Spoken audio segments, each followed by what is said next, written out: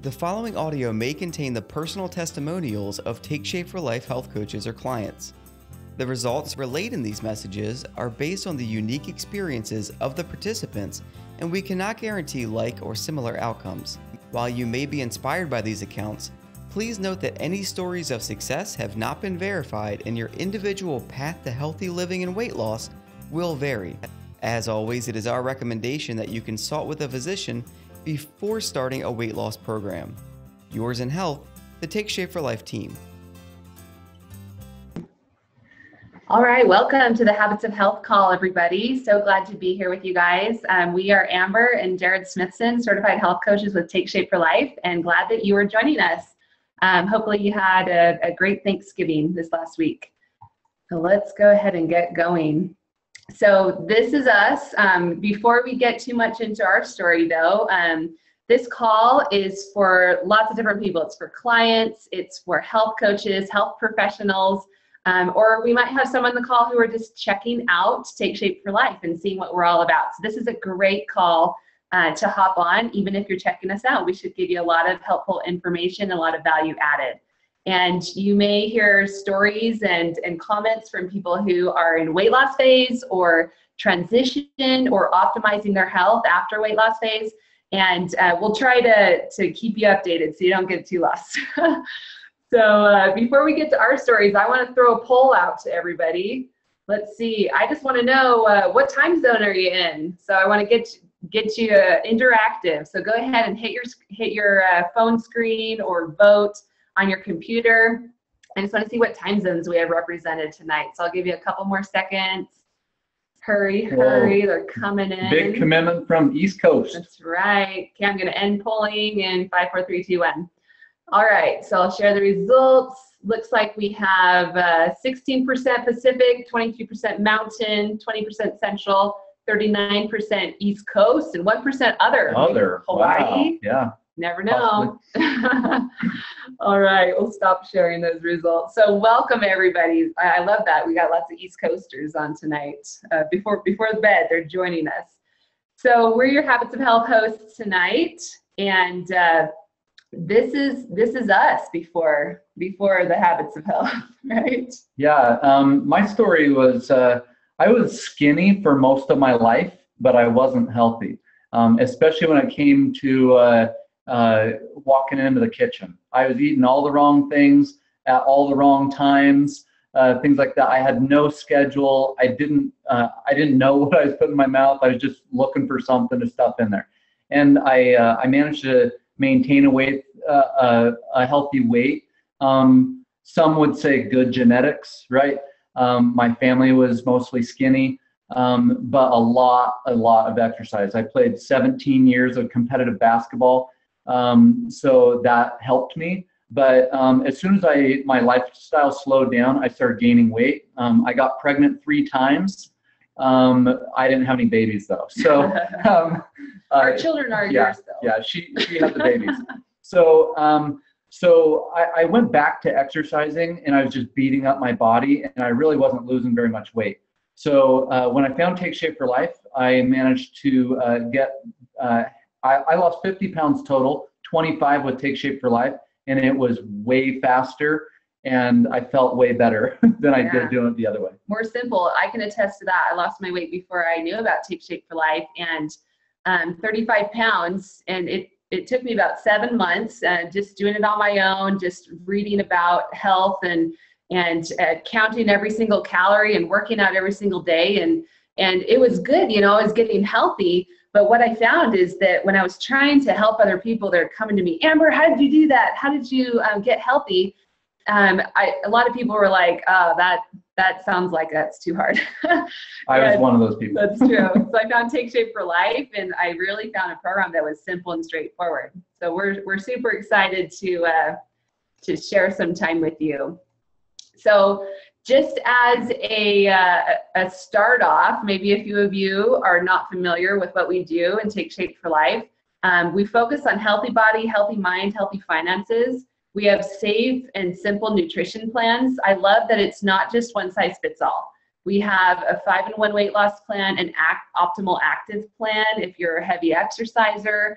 um, three and three for when you're optimizing after weight loss phase, nursing mom, teen, seniors, diabetic. There's all kinds of good stuff. Then we have the habits of health. Um, this is what really sold us on Take Shape for Life. Uh, we read Dr. Anderson's Habits of Health like over a weekend, uh, and we're like, this is how we want to live the rest of our lives. And uh, and and I keep it right next to my computer here um, every single day. I work with my uh, clients through uh, through the books, and uh, and this is how we've lived our lives for almost the last eight years. Yep. And of course, your personal health coach. And we have a few health coaches on tonight that we're going to ask to to help uh, share and share their stories and help present. And uh, we just have tons of fun with our clients and also this health coach community too. So before we talk about this slide, I want to launch our next poll here. Okay, in what phase of the program are you right now? So you might be in weight loss, transition, optimization. Some people think that's called maintenance, but we're optimizing. We don't maintain, right?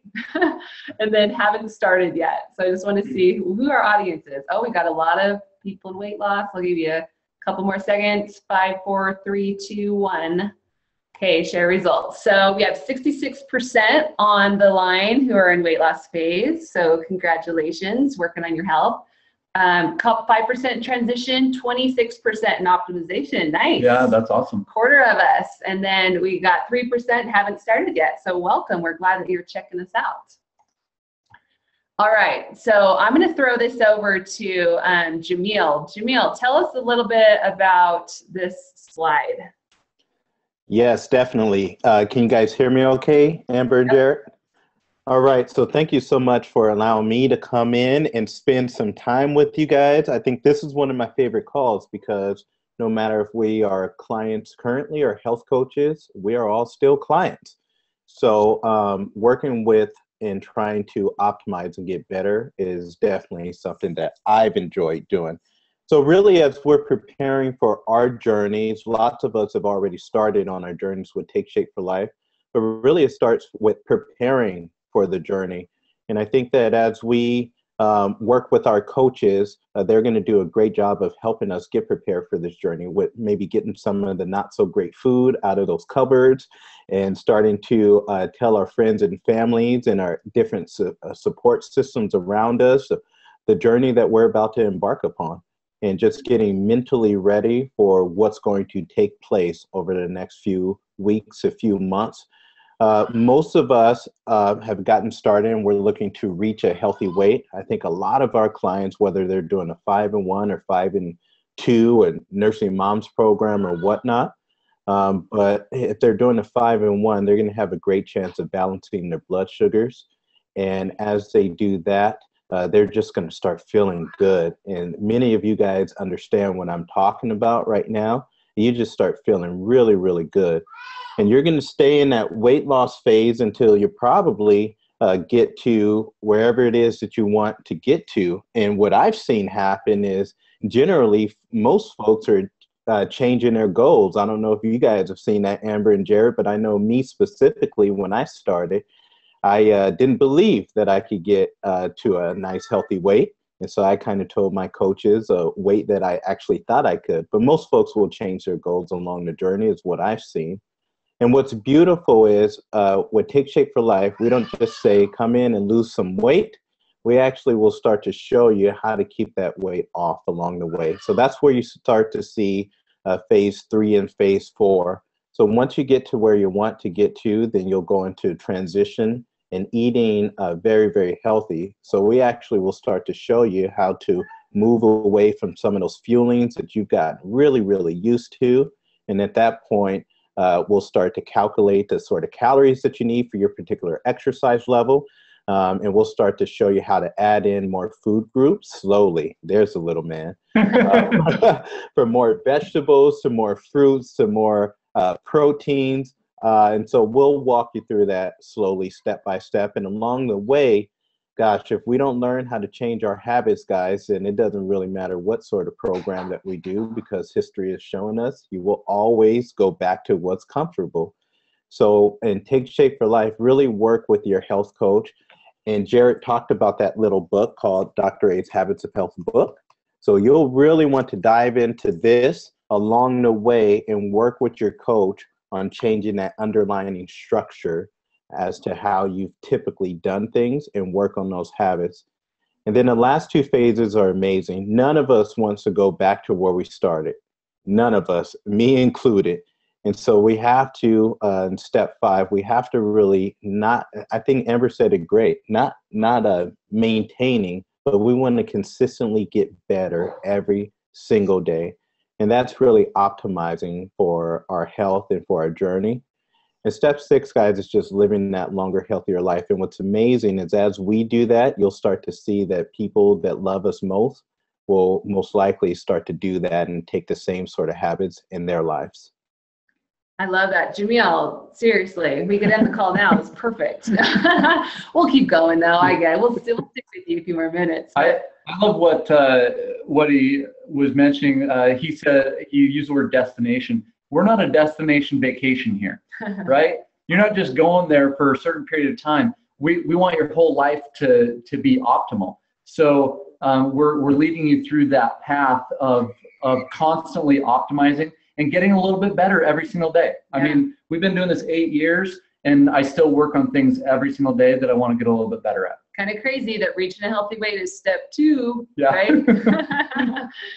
All right, let's, uh, oh, you know what? I did the survey early, so we'll just skip that.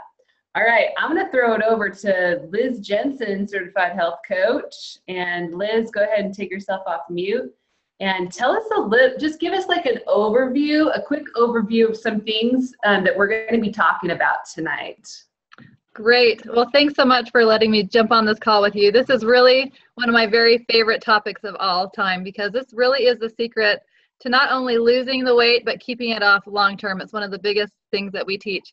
And so um, we're going to go over just some simple tips on how to do this. Um, we want to get our metabolism going within 30 minutes of waking up. And then we don't want to go over three hours without eating. We want to keep our blood sugar balanced and we want to have small protein carb balanced meals every three hours um, to and keep it simple um, to be able to do that. And then of course the water is a huge thing. Drinking more water that's going to help you stay full longer. It's going to help your digestion. It helps in so many ways but getting our water in is going to be you know an important step in our journey also. Yeah, and maybe give them a little overview on our on uh, our education as well. Oh, that's one thing I love the most is how much we learn on this program. And um, when I got started on the program, I mean, all of you probably can raise your hand and join in with me, but how many of you guys have um, started a diet or lost weight and then gained it back because you didn't learn anything, right? I grew up in the fat free phase where all I cared about was how much fat something had.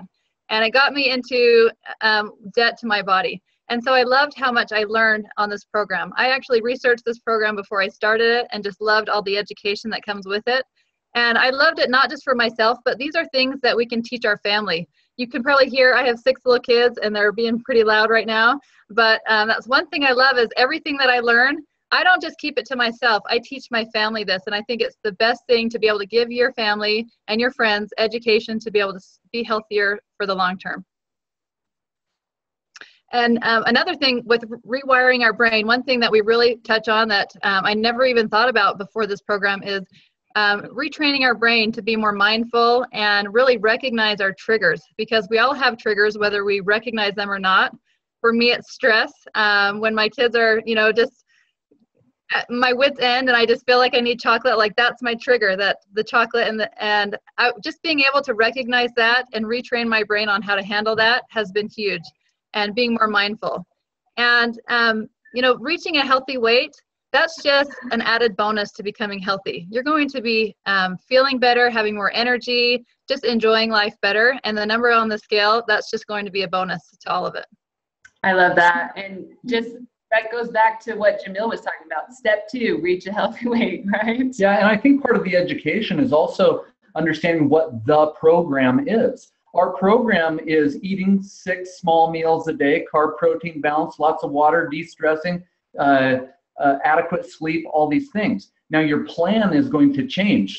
Uh, some of you are on the five and one plan for weight loss, or four and two for a more active lifestyle. Seventy-five percent 75%. Uh, but but the same principles principles apply across our entire lives. Yep.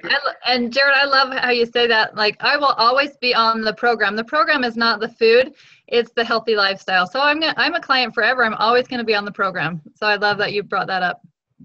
That is so true, Liz. I love that. So, Jared, do you want to go over some of this? Yeah, this was one of the things that sold me because I used to get like the sugar shakes all the time, and it was because yeah, yeah, jazz hands, right? I I'm not much of a thespian though. Um, so uh, I used to eat like the graph on the left, um, where if I did eat anything, it was like an orange juice or a bagel or something quick and easy, fast food, things like that, and massive blood sugar spike, and then as a result, a massive insulin response. And uh, David Jenkins at the University of Toronto is really a pioneer in low glycemic eating. And what they did was they took uh, this group of people and they split them into two groups. They ate the same foods, the same calories, everything, and you'll see the difference. Uh, three, one group was eating three traditional, three squares, as they say, and the other group was eating six smaller meals. And uh, you see that uh, the group that was eating the six smaller meals, they lost more weight. They uh, they suggest they said that they were less hungry uh, reduced cholesterol by 15% and blood insulin by 28%. So those are massive shifts. And uh, so this is the way that we, we want to eat um, in order to maintain that nice healthy weight, uh, but not only just weight, but have uh, consistent balanced energy throughout the day uh, rather than I would, I would eat something or bagel or orange juice or something like that, go start playing basketball. And then I was like, woo, uh, it was crazy. So um, I feel a lot better now uh, at age 42 than even I did when I was still competing at age 20. Yeah, that's such a good point, Jared. That seriously, if you don't take anything else from this webinar tonight, take this principle that if you eat the same foods that you're eating now, you break them up in smaller amounts six times a day rather than three times a day, I mean, seriously, right there, optimization phase is uh, so much easier right there. Um, okay, I'm going to throw it over to Liz again to talk a little bit about glycemic index, if you would. Awesome. Um, well, this is one thing that I love is because a lot of us think that glycemic index only applies to diabetics, but really it's the secret to um, energy level staying level, your, your metabolism running better, and so glycemic index um, is really how your body reads sugar. Um, your body turns carbs into sugar, whether it's a candy bar, whether it's a piece of fruit, it turns it into sugar. Um, so if you look on this chart here, um, we want to stay in the green, the low glycemic. So these are things, if you're on the 5 in 1 program, you're lean and green, those are all low glycemic foods that you're eating right now, your meal replacements. So um, they all have a number. So 100 is pure sugar, zero is nothing. You know, so you want to stay at you know, around 50 or below most of the time. And then occasionally, if you're going to have something that's in the higher glycemic, like the red section, then you want to pair it with something in the low glycemic. That's going to balance it out a little bit more. And so, learning to always um, pair something that's low glycemic, if you're having something that's higher, that will help balance your blood sugars out a little bit more. And so, the combination really does matter. And I would encourage everyone to to you know copy this list or get a list like this and put it on your fridge and start practicing this habit. If you're on the 5 in 1 program you don't have to think about it because it's all laid out for you. It's already already perfectly balanced for you which is awesome. But um, i like to practice it and have my clients practice it with their kids. So when my kids are having a snack usually it's a carb right? That's usually what you grab for.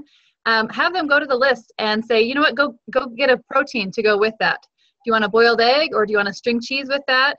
And so just getting in the habit of always taking a protein and a carb together, even if it's not a healthy carb, which most of the time it, you want it to be healthy, but even if it's not, always have a protein with it that's going to help um, balance it out a little bit better. But staying on the you know the healthy list for most of the time is key. But this is something that you can definitely start practicing with your kids and your spouse, um, just getting used to what the healthy choices are. I love that, Liz. And just like you said, the TSFL fuelings, um, they're already balanced. Like there's no guesswork. You already know that it's, that it's perfect. That's why I continue to use the fuelings into optimization phases because I don't know, I didn't get less uh, busy just because I got more healthy.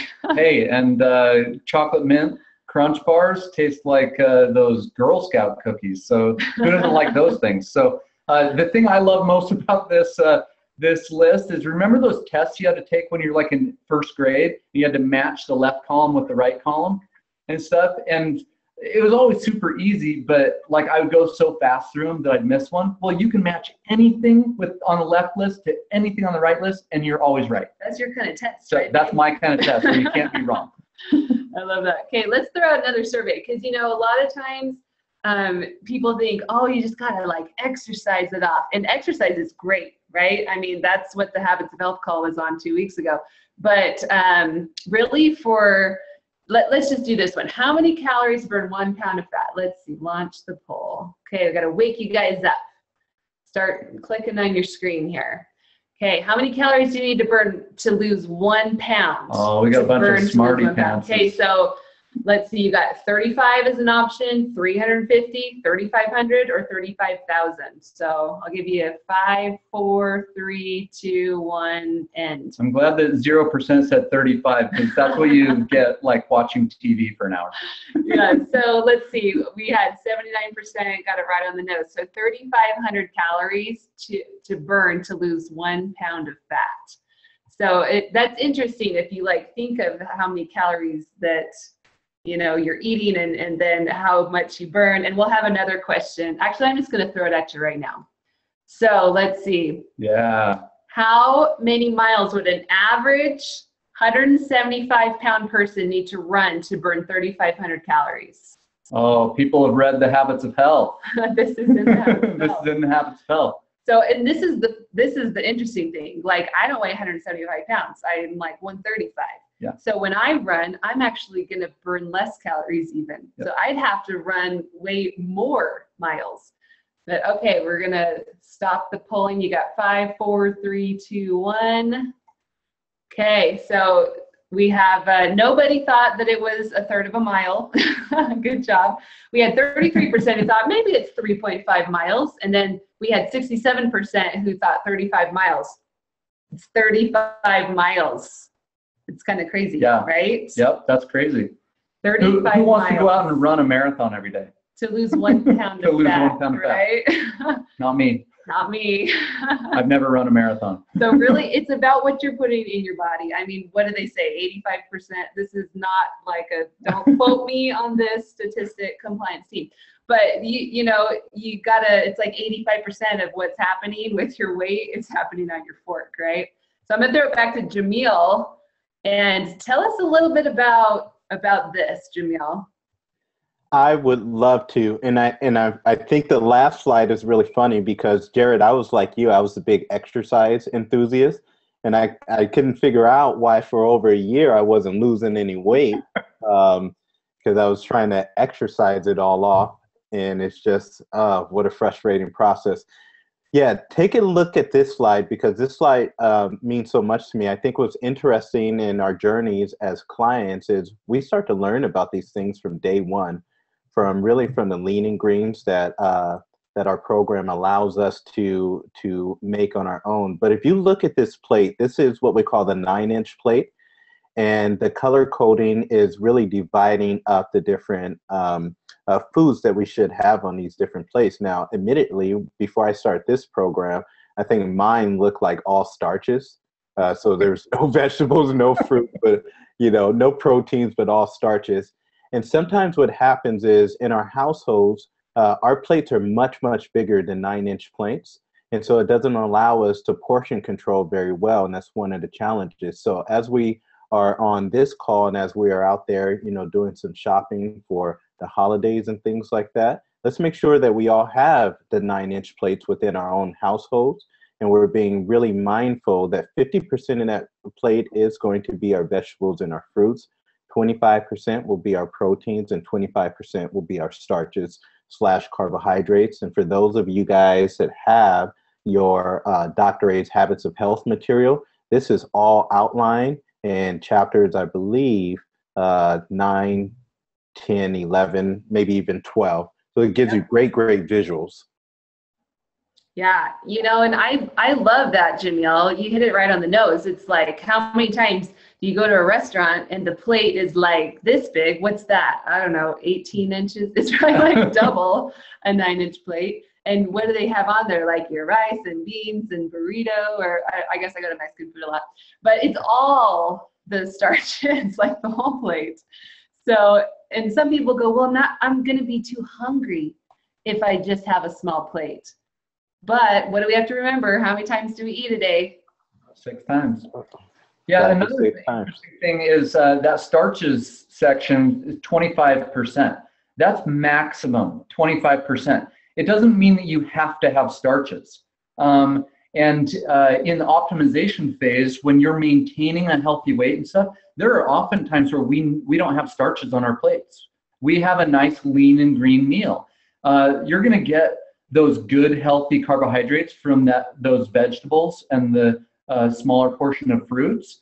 Um, and uh, also another thing, just a little uh, extra tidbit, like when if we're having something like uh, she makes fantastic French bread. If we're having French bread, that's my dessert. I'm not going to have a dessert after dinner, and I'm going to make sure that I'm having a really solid, healthy, lean and green meal. Um, and uh, if I am going to have a dessert after dinner um, as part of my optimization plan and stuff, I'm going to go straight lean and green, no extra starches at dinner time. Yeah, for sure. Okay, well, thank you, Jamil. That was a great rundown of nine inch plate. And this is to be utilized in optim- optimization phase, of course. If you're on five and one, then make sure you're reading your Optavia guide and you're sticking to your to your uh, specifications. Okay, well, to wrap up, we have four more minutes left. Um, I thought that maybe Jamil and Liz could each share a little bit of their story. Um, so I'm going to throw it to to Liz first um, to share what what was your experience um, with the with the program so far. Um, great, thanks. Um, I love sharing my story because honestly, the program has changed my life completely, not just physically, but mentally um, also, and my family's life. So I've always been really into health and fitness, um, loved reading health and fitness books, loved going to the gym. Um, I loved being healthy. But as I um, got married and had, had children, I've had six kids. And each of those pregnancies brought on 50 to 60 pounds. No matter how hard I tried, uh, I would just gain the weight. And so trying to lose weight after having a baby could be really depressing and um, a big struggle. You don't have a lot of time to um, spend on yourself. And so um, I was very thankful. Amber and Jared, they're actually my health coaches, and they introduced us to the program. And um, I was just so grateful to find something that actually worked, um, that was very simple. Um, I did the nursing moms program after my fifth and sixth baby. And honestly, my only regret is that I didn't find this 12 years ago after my first baby. Um, but after I found it, I just wanted to like share it from the rooftops. Every woman that's ever had a baby needs this program. Everyone needs it, but I just wanted to be able to share it with everyone because it's completely changed my my, my life physically, and then just all the education that comes from it um, has been such a blessing. Um, and so, and I love that it's simple and it's something that you can do long term, and it's not a fad or you know a short term thing, but it's something that will really change your life if you embrace it. Awesome, Liz. Jamil, wrap us up. All right, with pleasure.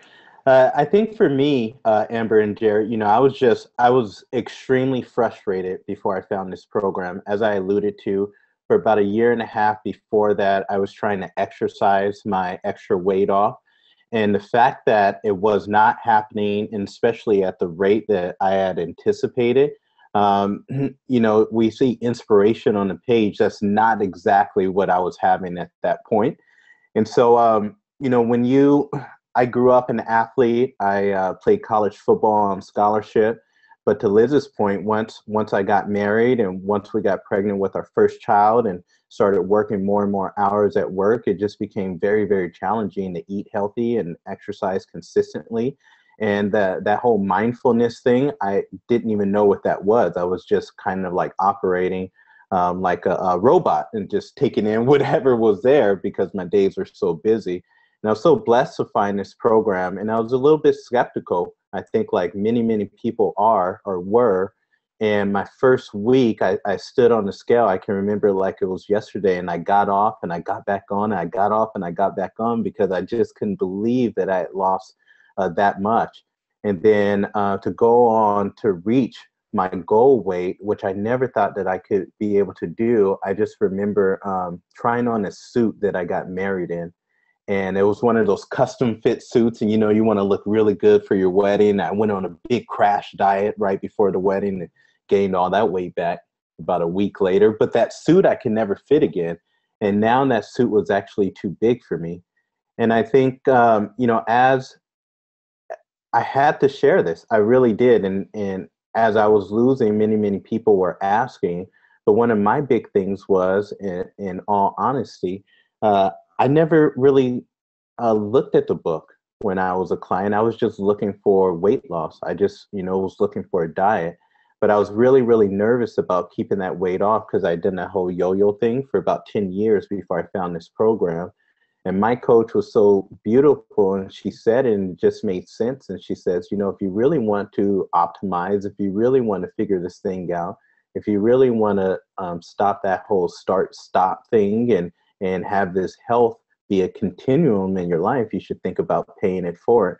And not until I actually started working with clients did I open up that book and I started studying and I started to understand um, what these things meant. And uh, it's been the greatest decision probably that I've ever made. And, uh, you know, I've been able to just get better and better and better. And so have people in my house. So it's been, it's been a great ride. Awesome, Jamil.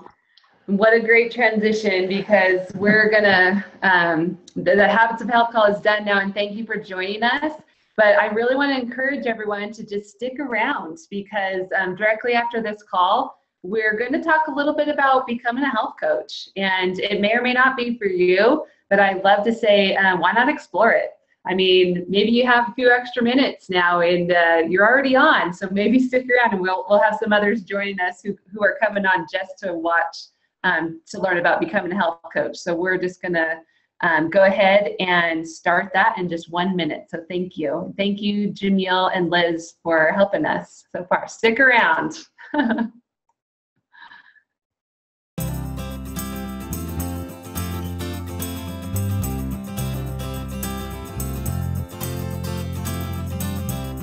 preceding audio may have contained the personal testimonials of some Take Shape for Life health coaches or clients.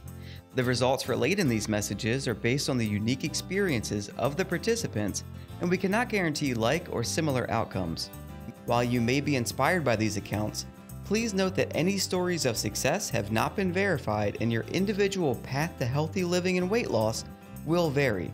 As always, it is our recommendation that you consult with a physician before starting a weight loss program. Yours in health, the Take Shape for Life team.